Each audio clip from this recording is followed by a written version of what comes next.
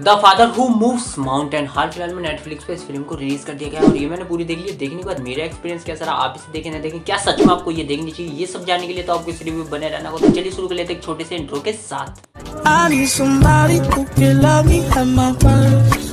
ज़्यादा स्पॉइलर नहीं फैलेंगे सीधा स्टोरी पे आते हैं। स्टोरी फोकस करिए, एक लड़के के ऊपर जो कि बर्फ़ के पहाड़ों में खो गया। अब उसके पिता को पता चलती है कि उसका बेटा ना लॉस्ट हो चुका है। अब उसका पिता उसे ढूँढने आ चुका है इन पहाड़ों में, बर्फीले में।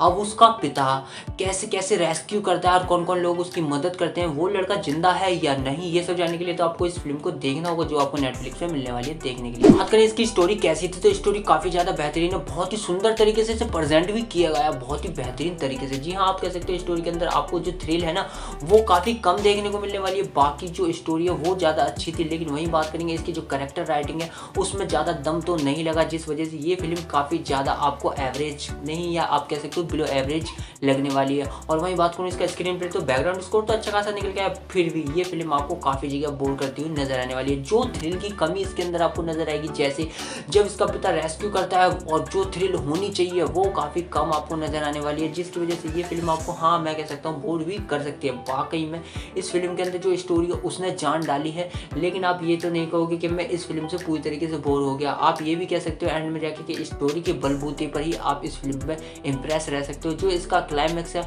वो काफ़ी ज़्यादा आपको अच्छा खासा लग सकता है, जो कि भाई पंद्रह बीस मिनट के अंदर ही फ़िल्म काफ़ी ज़्यादा इंप्रेस करने में कामयाब रही। नहीं तो ओवरऑल जो फ़िल्म थी, वो काफ़ी ज़्यादा डीप नहीं गई। जिस हिसाब से इसके अंदर थिल को डीप ले जाना था और आपके लिए फ़िल्म काफ़ी ज़्यादा सस्पेंस से भरी बनने वाली थी, वो काफ़ी चीज़ें आपको कम नज़र आने वाली है। यही इस फ़िल्म का एक डिसपॉइंट था। बात कर ले एक्टर की परफॉर्मेंस के बारे में तो वो तो ठीक ठाक थी। जी हाँ आप कह सकते हो आपको ठीक ठाक ही देखने को मिल जाएगी। ज़्यादा तो मैं नहीं कहने वाला इसके बारे में ज़्यादा, लेकिन वही बात करूँ, इसकी प्रोडक्शन क्वालिटी वो ठीक है, सही है, जो भी एफ़ का काम किया गया वो भी अच्छा खासा है, लेकिन सिनेमोग्राफी को तो बेहतरीन तरीके से काम किया गया बहुत ही खूबसूरती तरीके से आपको दिखाया भी गया जो इसका बीजीएम था, वो भी आपको हल्का फुल्का ही सुनने को मिल जाएगा, जो ठीक ठाक है। जी हाँ आपको बता दें इंग्लिश में डब की गई है, जैसे कि रे, रोमेनियन फ़िल्म होने वाली है बट फिर भी इसके जो बीजीएम था, वो हाँ हल्का फुल्का आप सुन सकते हो। बस।